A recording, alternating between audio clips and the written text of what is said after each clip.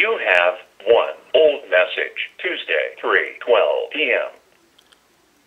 Hello, this is um, the Obama uh, uh, Obama campaign uh, person. We'd like to know if you would vote for Obama, and uh, if not, why?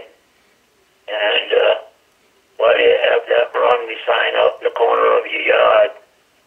Uh, we had a drone fly over, and uh, we know what's going on. So a vote for Romney is is a vote for a prosperous America.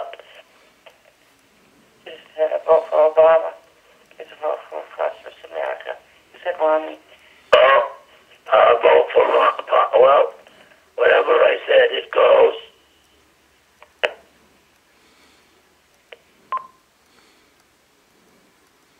End of messages.